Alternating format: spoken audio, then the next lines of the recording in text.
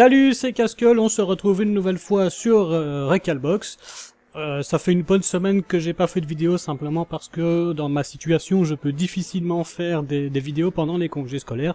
Mais voilà, les congés scolaires sont terminés et je peux donc reprendre un, un rythme normal. Voilà. On aura remarqué pendant cette semaine quand même la sortie de l'Amiga 600 euh, et 1200. Moi, pour l'instant, j'ai mis... En fait, enfin, il dit 600, mais on, le sait, hein, les, jeux euh, Amiga 500 étaient compatibles Amiga 600. Euh... Il y a aussi le Sharp X68000, oui. Euh, personnellement, j'ai pas encore testé. Faut dire que c'est une machine que je, je, n'ai pas eu, je ne connais pas, pas bien. Du coup, euh, je, je, testerai ça plus tard. Mais euh, l'Amiga, Étant ma première machine, euh, c'est quelque chose que je connais assez bien. Voilà, donc je vais reprendre un rythme normal, hein, comme je disais, donc on va reprendre la série euh, Over, euh, Puzzle en série, ainsi que les jeux Neo Geo et tout ça. Euh, dès demain, ça reprend un rythme euh, normal, voilà.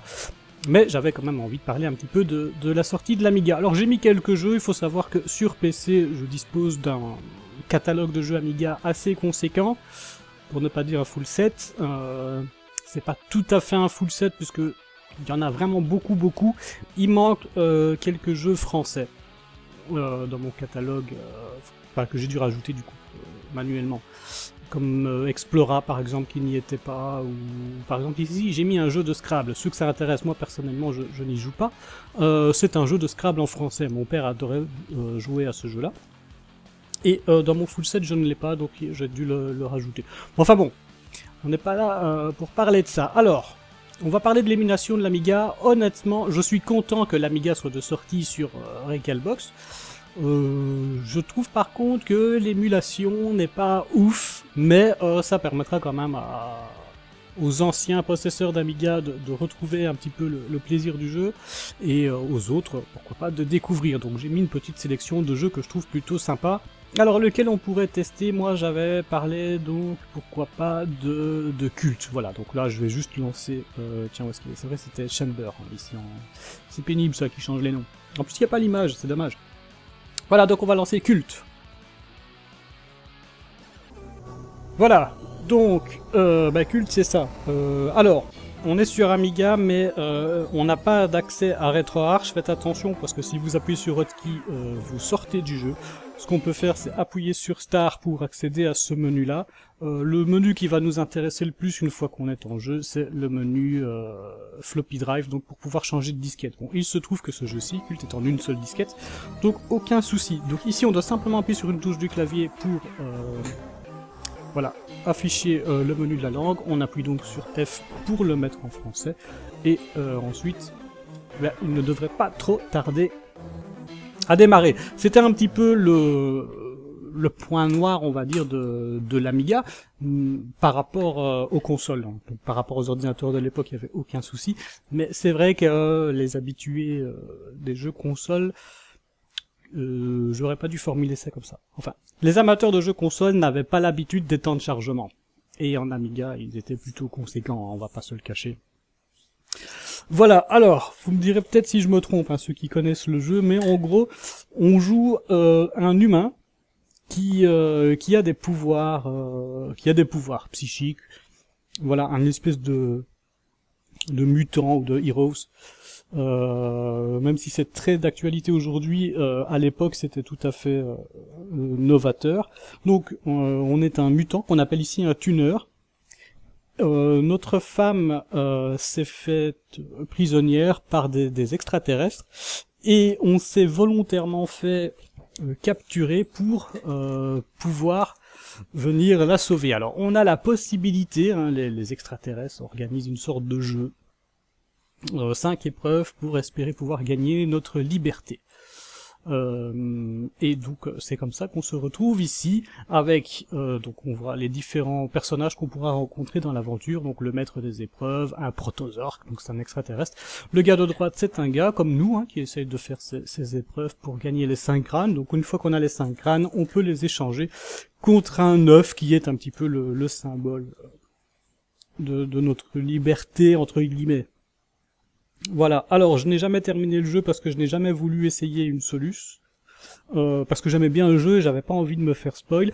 Mais euh, j'avoue que euh, au bout d'un moment, je vais peut-être devoir le faire parce que le jeu est pas évident, évident. Alors j'arrive à terminer les cinq épreuves, c'est pas le souci, mais je ne suis pas à la fin pour autant. Je peux déjà vous dire qu'il y a deux possibilités d'aller à la fin. J'ai déjà découvert pas mal de trucs sympathiques. Voilà. Alors, Déjà, au début, il nous donne un indice super important. Déjà, il nous donne un objet et surtout, il nous dit dans quelle pièce sert euh, euh, ces objets, cet objet, dans, quelle épreuve, puisque dans chaque épreuve, on aura besoin d'un objet différent. Certaines épreuves, on va pouvoir les faire sans les objets en utilisant nos pouvoirs psychiques, mais alors on va perdre un petit peu en, en mana, on va dire, en, en point de vie, puisque le, le, le, le mana et euh, les points de vie sont, euh, sont liés. On peut les regarder d'ailleurs ici. Il va y avoir un léger temps de chargement avant que ça apparaisse. Voilà, pour l'instant tout va bien. On voit que le, le sang euh, s'éparpille bien jusqu'au bout des, des branches, enfin des, des veines, je sais pas comment on.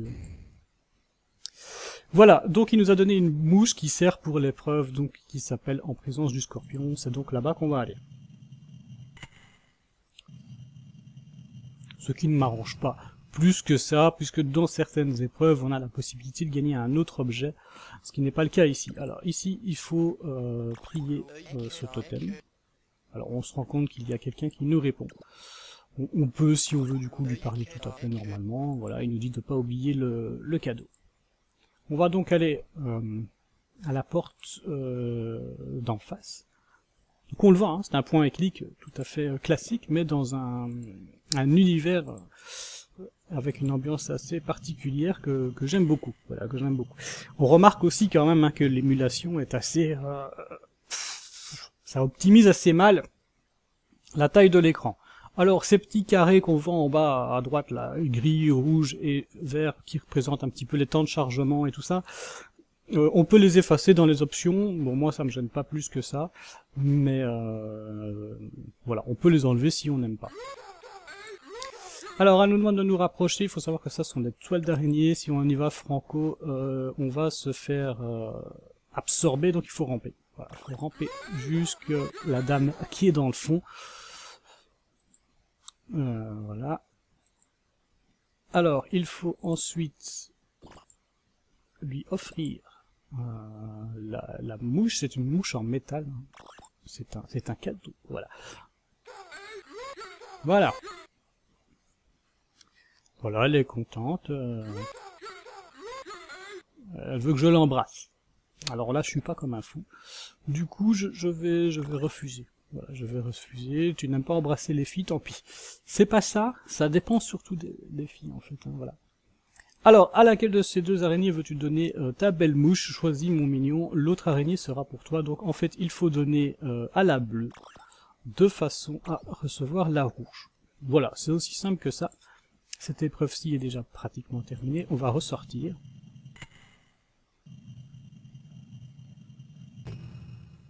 On va insérer donc la mouche rouge, mettre dans, voilà, dans le trou ici.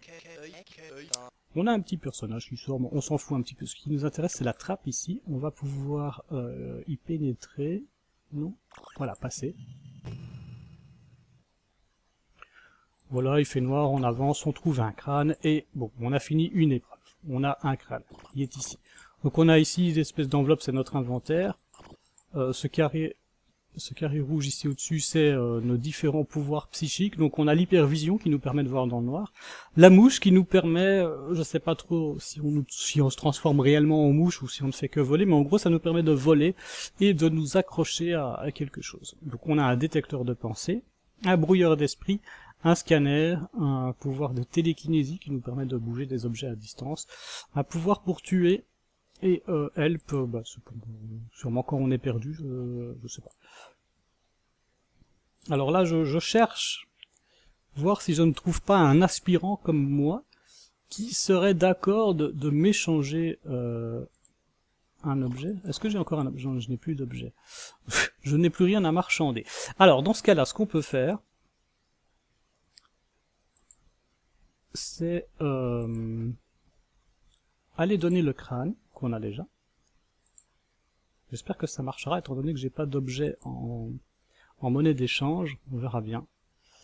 Si j'aurais trouvé un aspirant seul, sans garde à côté, je l'aurais peut-être tué pour le fouiller, mais là, euh, c'était pas le cas, donc, euh, voilà. donc je vais juste traverser, revenir dans la salle euh, du départ. Il y a une machine ici, donc il faut donner à ce garde un crâne. De toute façon, c'est à ce garde-là qu'on doit donner tous les crânes. Une fois qu'on en a donné 5, il va nous donner l'œuf. Voilà, donc on va décloser un crâne. Voilà, donc il, est content et qu'on a le droit de faire un échange. Je vais voir si ça fonctionne quand on n'a pas d'objet. Euh... Échanger objet.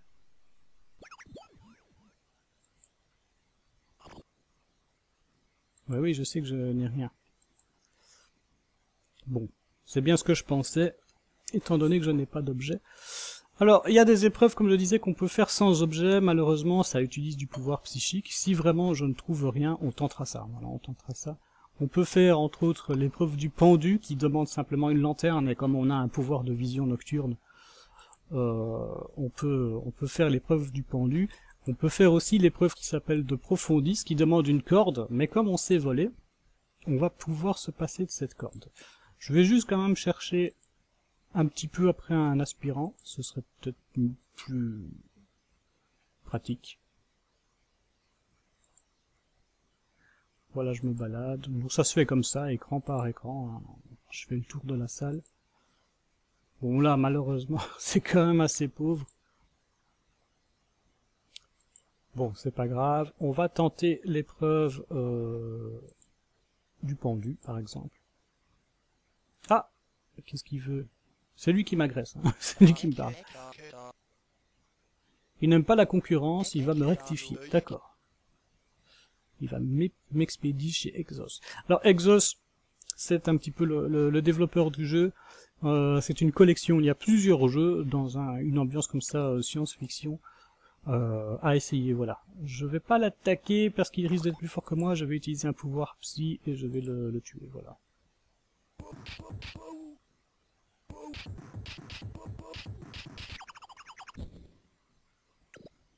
Alors je vais vite le fouiller. Et je trouve un gobelet qui va me, servir dans l'épreuve euh, qui s'appelle les jumeaux. Ou la source, puisqu'il y a deux pièces euh, dans cette épreuve, trois même. Donc, euh, présence du scorpion, je ne peux plus y aller normalement, voilà, la porte est fermée simplement parce que j'ai terminé cette épreuve. On va donc chercher après euh, les jumeaux. Ou la source, comme je disais, voilà, la source. J'irai pas jusqu'à la fin du jeu, hein, comme je vous ai dit, je, ne connais pas euh, la solution jusqu'à la fin. Mais on peut faire une partie. On va aller chez les, jumeaux. Non, j'aurais pu... Euh, enfin, c'est pas grave. J'ai oublié un petit détail. Bon, je vais... Euh,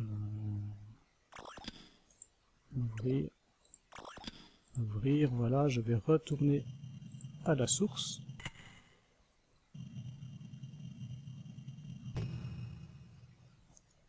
je pense que je vais juste vous montrer deux épreuves, hein, et ce, sera tout. Alors je vais inspecter euh, cette fontaine, voilà, elle a l'œil un petit peu usé. Donc ce qu'on va faire, c'est qu'on va euh, appuyer sur l'œil. Voilà, il y a de l'eau qui coule, on va donc utiliser notre gobelet et euh, le remplir. On va chercher cette option, voilà. Voilà, remplir. Ok. On retourne chez les jumeaux.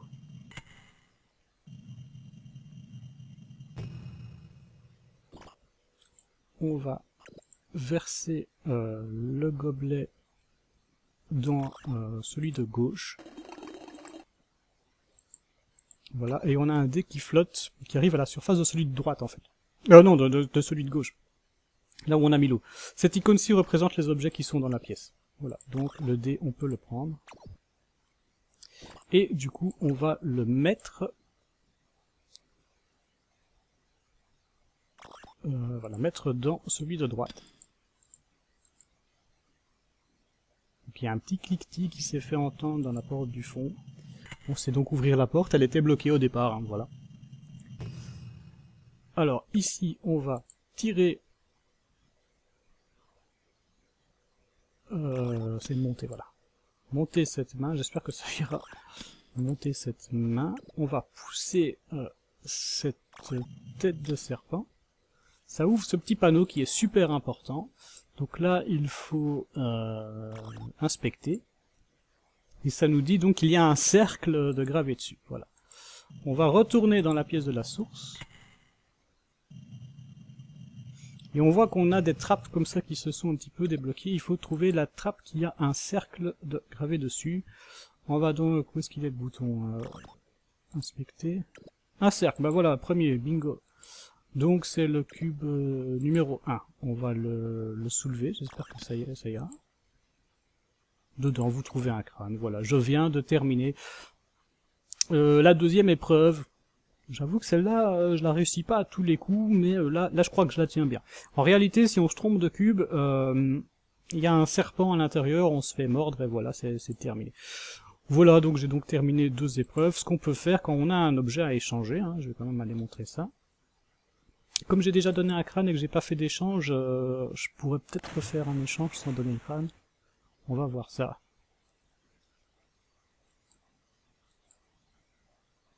Parce que j'ai toujours mon gobelet. Hein. Donc euh, je peux l'échanger. Voilà. On va euh, échanger objet. Ouais, il faut que je donne un crâne. Oui, mais je vais te donner un crâne. Ne t'inquiète pas. Panique pas. Voilà. Inspecter, mettre dans... Offrir. Oui, je suis un bon gars. Allez. Échanger objet.